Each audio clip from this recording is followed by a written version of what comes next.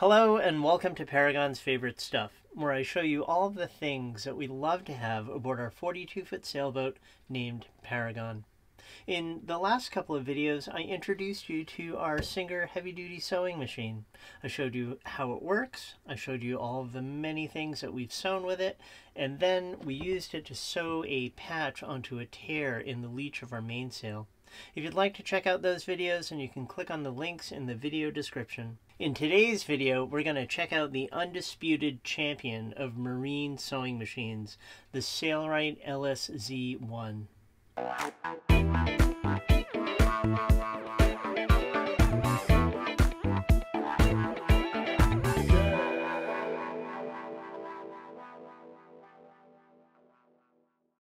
Our Singer heavy duty sewing machine is absolutely perfect for things like mending clothes, hemming pants. We even used it to make these wonderful curtains for our port lights and also to sew a zipper onto our canvas enclosure. But for sail repair, it was really hard for the machine to send the needle through four layers of sail material. We were able to do it, but the end result was just really sloppy and probably not as strong as it could have been had it been done with a more capable machine. After that, I got in touch with a man in Shetland who is an expert at repairing sewing machines. He has a workshop where he has a whole bunch of different sewing machines, including a Sailrite LSZ1. When he said that he would be glad to show it to us, we decided to sail to Shetland. So here we are anchored in Scalloway, Shetland. It is a beautiful little town and it is a wonderful place to be anchored in. I'm just going to get in the dinghy and we're going to row ashore and go to Davy's shop. Here in Scalloway there are a whole bunch of places where you can land the dinghy and just drag it up onto the shore and tie it to something. Very accessible. It's a really nice anchorage. I'm taking my e-bike to shore as well so I can go for a little ride later.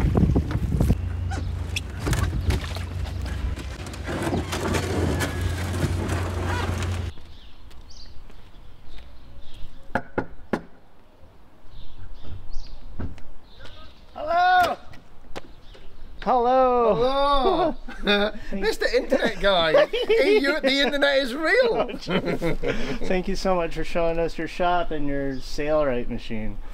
Hmm, come and have a look. All right. Got a few other machines out for you to see. Oh, wow, that thing is huge. wow. That's what everybody says. I take it you do want a coffee. Yes, please. Thank you. What do you use this shop for? Well, technically, it's my wife's studio. So really, it's her workshop, uh, and I've kind of moved in, and I have I have a corner over here where I do my sewing machine repairs, and then occasionally when she's not here, I get to use all of the space. She made this artwork right here in this shop. yeah.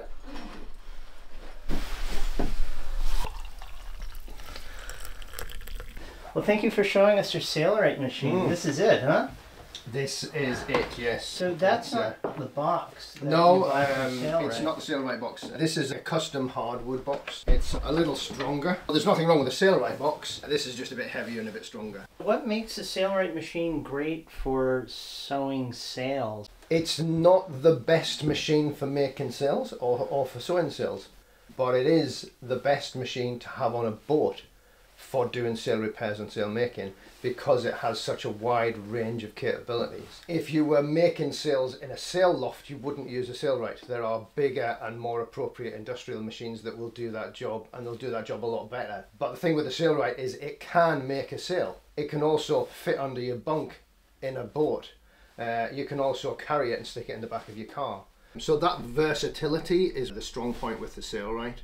It's a bit like a Swiss Army knife. It's not the best machine at any one thing, but it can do everything to an extent that is enough for people on boats using sails. Huh. Are there any cons to this machine? It's heavy. It's heavy.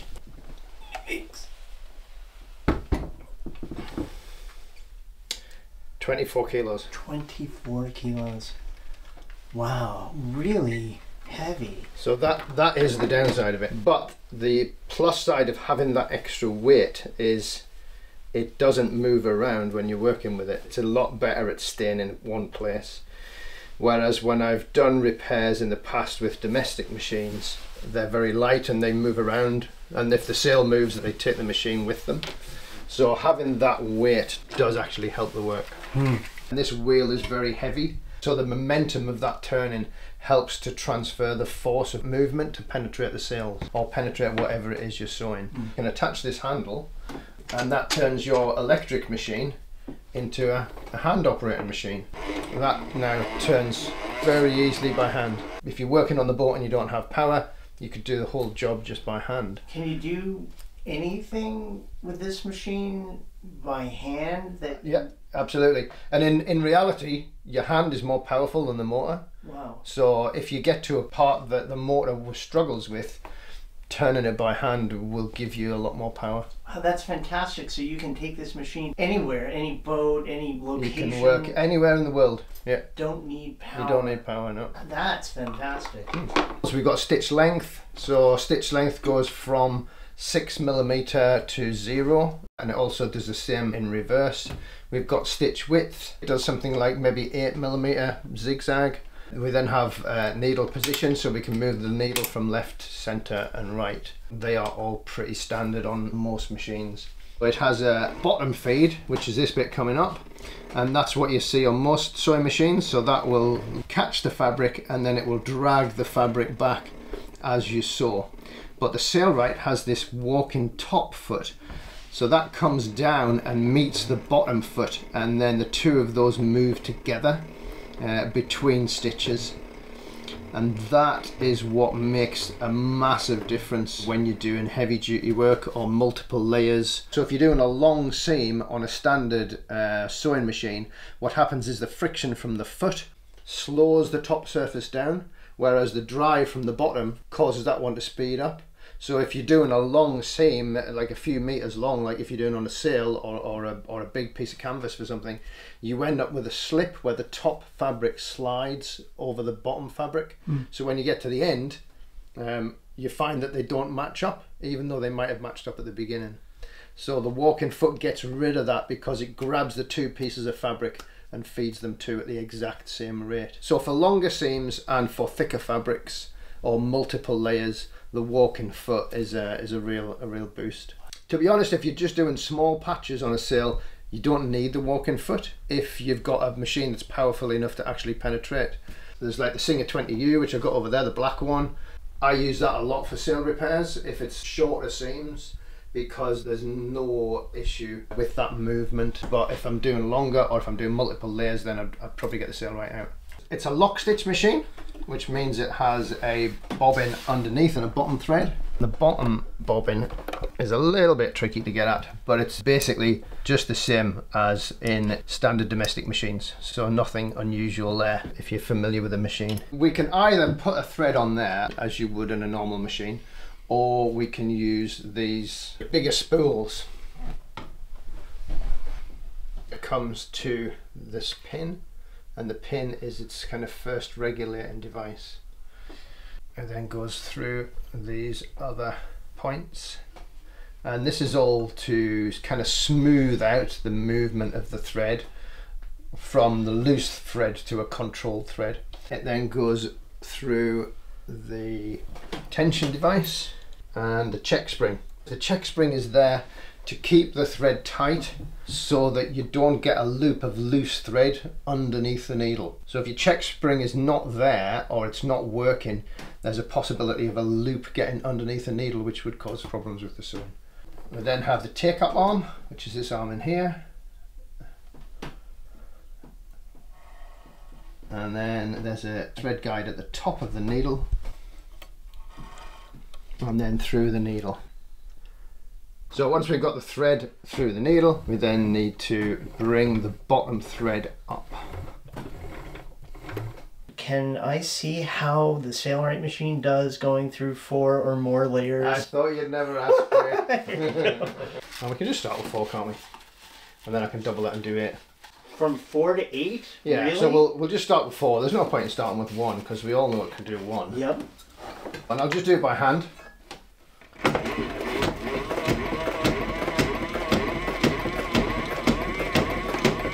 I can't believe you just sewed a zigzag stitch through four layers of sail material by hand. Yeah, it was, it was actually easy. So that's four. So if we double it, that'll give us eight. This is a pretty heavy sail as well. Yeah. So it was a bit tougher to get going. You can definitely feel it. But once you go So that's eight layers and you can see it's managing no problem in the zigzag on that. I don't know if it'll manage 12 but we could give it a shot. Normally if you can get it under the foot it'll sew but I don't know if I'll be able to, to drive it through. How many layers? 12. 12?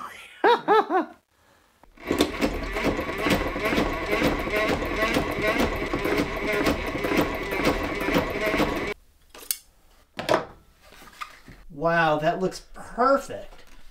It's not quite up to the 8, but it's, yeah, it's good enough. And that's 12 layers.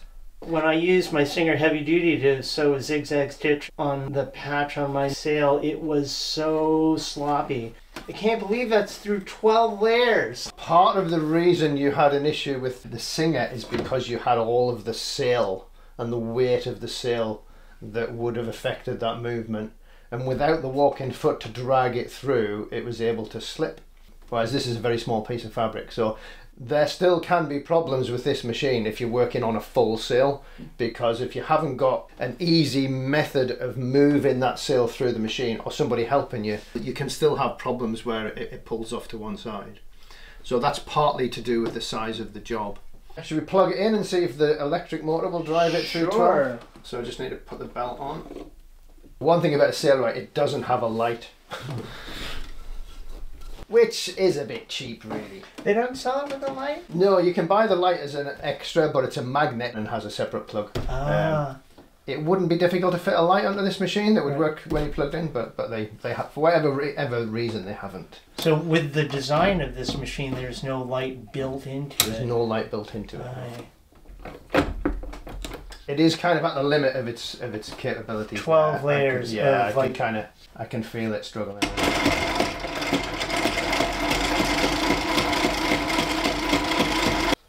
Would you ever actually sew through 12 layers of sail material when you're Only for a demo for Drake Paragon.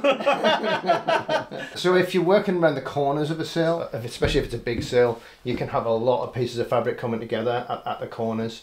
Um, so potentially, yeah, you could end up sewing through a lot of sail. It's not something you'd be doing often.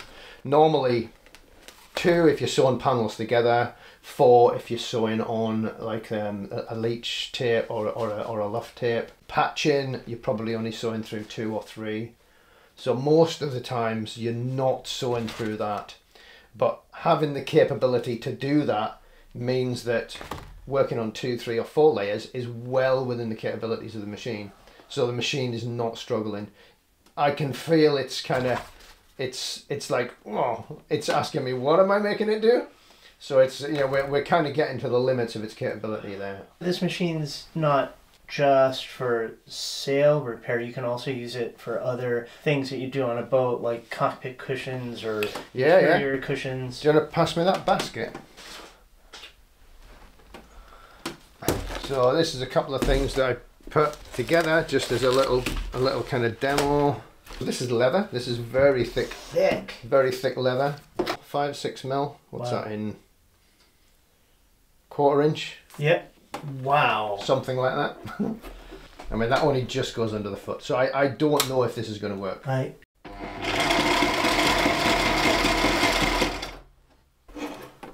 Yeah, so it's had a skip stitch there. That happened all the time when I was sewing the patch onto my main. It skipped a stitch. Yeah, skipping stitches is what happens when you're reaching the limit of the machine. Right. There are a couple of things you can do. You can use a bigger needle. Uh, you can put a little bit more presser foot tension on. Sometimes a little bit of oil can help. You can oil the thread and it, uh, and it makes it work a little bit better. We'll try that one again, try that with a straight stitch.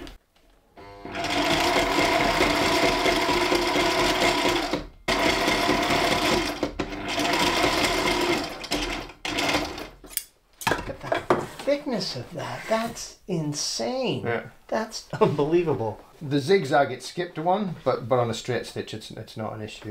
That's kind of showing you the really the limits. It's not going to sew any more than that, and it's kind of on the edge of its capabilities at that point. Mm-hmm. And that's with a new needle. A lot of people don't change their needles until the needle breaks. You should be changing the needle every eight hours of work. In factories, they'll often change a needle at the beginning of a shift. So then you're always working with a new needle. How does a needle deteriorate over use? They can distort, so it changes the shape of them. Basically, the way it works, the needle has a, a little scooped out shape called a scarf. The thread is held across the scarf, and the hook hook- hooks up the thread in that scarf. If there's any movement on the needle, it's not in the right place for the hook to pick it up, and that's what can cause skipped stitches. And that one skipped stitch there, it might be that the needle was slightly deflected in one direction or the other, and that has caused it to miss the hook. The other thing is the end of the needle, the point can get dull or it can get distorted, and that will cause the needle to deflect as it goes through the fabric. So it might it might go in, in one direction or the other direction rather than going straight through. That means that the needle is not in the right place for the hook to pick up the, the thread. So having a new needle and a sharp needle is really important mm. if you want to be at the top of your game for sewing. I mean, if you're just doing a quick thing with a little bit of soft light fabric, it's probably not going to be an issue. But if you're doing sail work, then having a good needle is really important. This is some thin rubber, which has its own issues, so I thought I would give that a try and see what it's like. Four layers of rubber mat. And again, I've never tried this, so I don't know what it will do.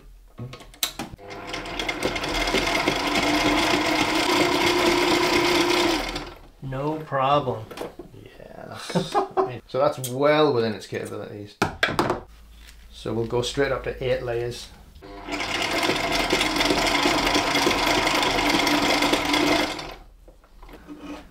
Yeah, so you can see we've got a couple of skip stitches. We're at the limit of what's possible with the machine. It's always good to have a machine that is capable of doing more than you need to do, so you're well within the machine's design scope. So this machine would have no problem making anything on a boat. Cockpit cushions made of vinyl. cockpit cushions, you can make sails, you can sew the stretchy stuff that people use for fender covers. Any kind of stretchy fabric is quite difficult to sew with a standard machine, but a walk-in foot um, handles the stretchy fabrics much better. Can this sewing machine sew clothing as well as sewing machines that aren't made for sail repair? It'll do things like jeans, sweatshirt material, that kind of thing, but delicate fabrics like thin cottons and silks and things like that. The teeth and the amount of force that there is on the walk-in foot is going to cause problems with delicate fabrics. Really delicate. stuff. Yeah. This is an old pair of jeans, so I'll do a little bit on that.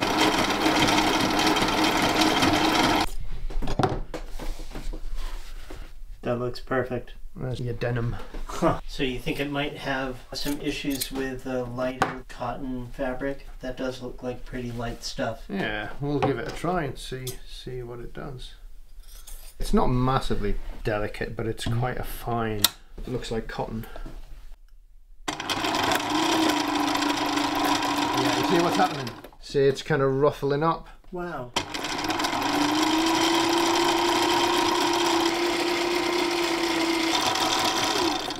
The stitching is fine, but it's whether or not that is going to work for whatever it is that you So that yeah, you want to it's ruffled up the fabric. Yeah, so that was kind of working at the the maximum of its capabilities Mm. as far as thickness and, and um, kind of heavy duty is concerned, and that is kind of pushing it at the other end of the spectrum.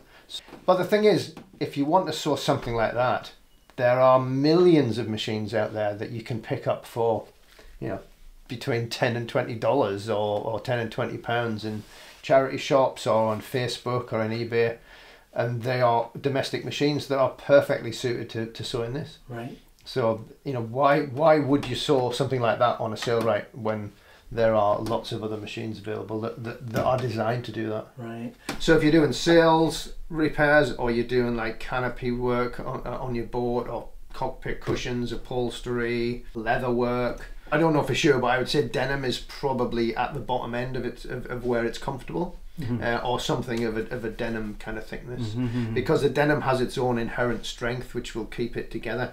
Whereas something delicate like that, it's not strong enough to resist the compression of the feet. There's things you can do to, to, to try to coax it through the delicate end in the same way as you can coax domestic machines to do a little bit better at the top end. But what's the point? You know, you can you can pick up a really cheap machine that's very light, a couple of kilos, and it will sew this stuff no problem at all. Are there any other machines that are competing directly with the Sailrite machine? Are there any? Ooh, that's the contentious issue, isn't Oh. it? yeah, you'll uh, the boating community will no doubt have a lot, a lot of comments to say about that. So Sailrite was a company that were making machines for quite a long time for the boat industry. In fact, I have another one over there.